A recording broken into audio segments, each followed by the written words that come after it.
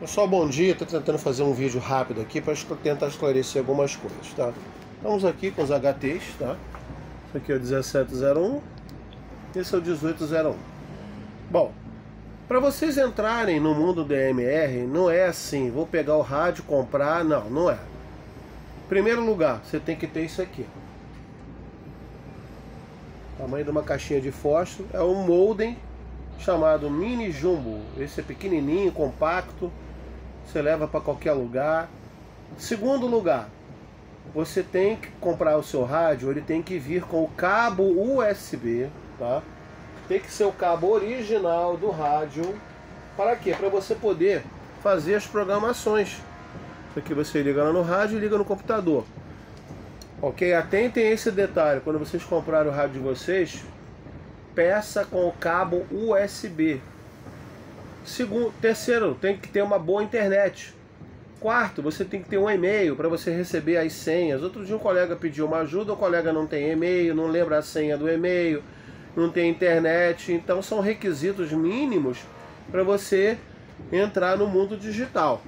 Tá? Você tem que ter uma internet razoável, até a própria internet do celular, de acordo com o seu plano o meu plano, por exemplo, aqui ele tem uma internet boa. Você pode usar o roteador do seu celular para entrar no modem, entendeu?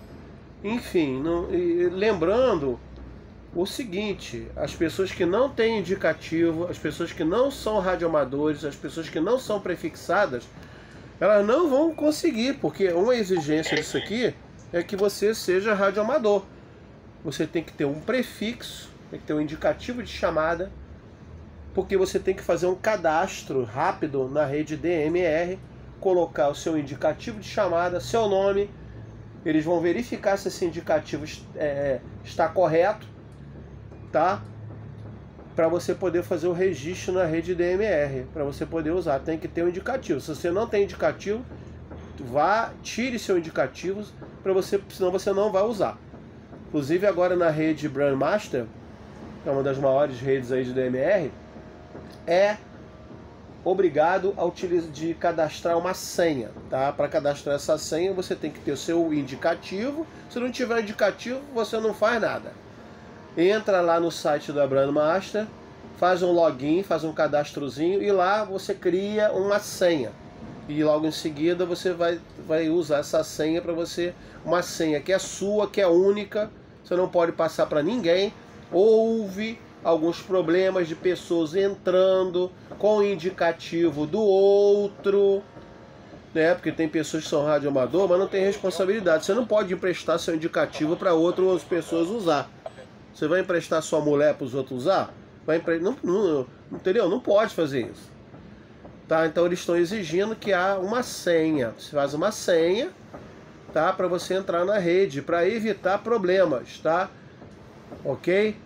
E, ah, eu dei o meu indicativo, dei minha senha para uma pessoa usar. Você vai ser responsabilizado por isso. Então estou avisando para depois não ter problema. Tá? Então não é assim, comprei o rádio, vou configurar o rádio. Se você não tem o um indicativo de chamada, você não é radioamador prefixado, você não vai poder fazer nada, você não vai poder utilizar a rede. Tá? Então deixando bem claro que existem requisitos. Né? O primeiro deles é você ter um indicativo de chamada. Depois você tem que ter o equipamento e tem que ter comprar comprar com cabo USB, senão você vai ter dificuldade, entendeu? Então prestem atenção que quem quer usar o rádio digital não é assim, comprei e vou usar. Não, não é assim, ok? Espero que eu tenha conseguido tirar alguma dúvida aí. Qualquer coisa vocês me passam um zap aí. Um abraço.